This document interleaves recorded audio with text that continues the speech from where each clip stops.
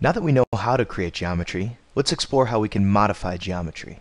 In the next chapter, we will look at the tools that change geometry that we have already created. These tools allow you to generate very complex forms with very little effort. So before we can explore the modify tools, let's first create some geometry to modify. Using your rectangle tool, we're going to draw a square at 3 feet by 3 feet.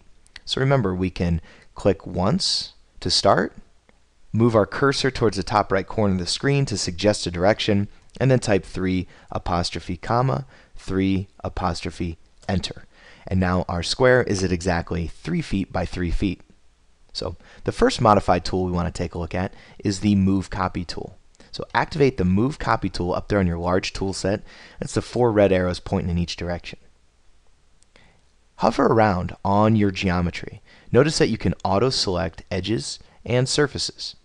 So we're going to just click once to pick this surface up, and then click again to put it down in the top left corner of our screen.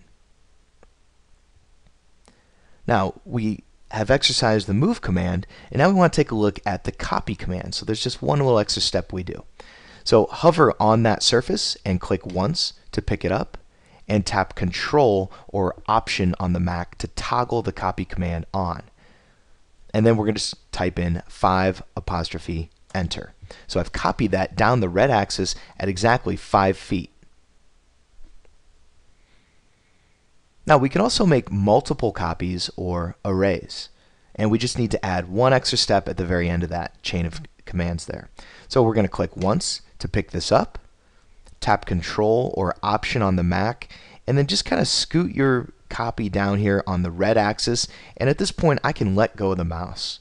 And I'm going to type in 5 apostrophe enter, and then I'm going to type in 5x. And so you can see that down there on the measurements dialog box. And when I hit enter, I get five copies. So we're going to make that copy five times. So we can create multiple copies or what we call an array. Now, a little more advanced feature of the Move Copy tool is if I was to make a copy of this guy straight down. I'll click once to pick it up, tap Control, and I'm just going to put it down just a little bit below. We can also create a copy and array, but do it based on divisions. So if I was to make a copy of this square all the way to the end of my screen, I can also specify how many divisions go in between those copies. So we're going to click once to pick this guy up, tap Control or Option on the Mac, and then I'm just going to move my cursor all the way to the end and click to put it down. Now without invoking any other command, I can type 8 divided by enter and we get eight equal divisions between the copies. Now let's take a look at the rotate tool. And the rotate tool we can use to rotate geometry. Click on those two red arrows chasing each other up there on the large tool set. And again, as you hover over edges and surfaces, notice that the rotate tool auto selects. So I can position myself over a square, click once to set the center point of rotation. Now I need to set a reference point. So I'll just click here on the green axis once, and then now I can define the distance or the degrees or angle that I'm rotating. So down there in the bottom right hand corner, you can see in my measurements dialog box, it's telling me that this is right at 45. So I'll click there. Now, be careful not to confuse the rotate tool with the protractor tool. That's a common mistake to make. So when you actually want to rotate geometry, be sure to grab that rotate tool. Now to finish taking a look at our modified tools, let's open up a class file. Under File, choose Open, and we're going to navigate to our SketchUp Basics class files folder, and we're going to open up the edu tutorial follow me. So open up the edu tutorial follow me.skp and choose Open. And I'm not going to save any of these changes. And now we have our self-paced tutorial for the follow me tool. And this is a way for you to explore on your own. There's some on-screen cues and text that'll guide you through a couple of the different ways to use the Follow Me tool. And I'll walk you through them right here as well. So first off, the most basic way to use that Follow Me tool is to pre-select the path. And then second, click on the Follow Me tool up in your large tool set. And then the third step is to click on the profile that you want to extrude along the path. So I'll click once, or I'm sorry, I will activate my selection tool, click on my path, and then go to my follow me tool and immediately click on my profile. And you can see that creates this donut shape. So it extrudes a profile along a path. And let's try that again. We can also create a sphere. If you pre-select the path, which in this case is that circle. So previously we used uh, the edge of a circle, now we're using the surface of a circle. We pre-select our path, click on the follow me tool, and then click on our profile, and that creates a perfect sphere. Next, we can also create, uh, or we can also use the follow me tool to manually extrude a profile along a path. And here you can see we have this little miniature house. And if we want to extrude this gutter along the edge of the roof, we could just use the follow me tool and click on this profile and then we steer it. And you can see how it turns the corner for us, but we have to be kind of careful as to what we're doing here. And if we're steering it around, we might accidentally go up the roof. We need to kind of reset that and make sure that we only go around the edge of the roof that we want for the gutter. So then I'll just come all the way around here. And sometimes you need to reposition your view to turn that edge.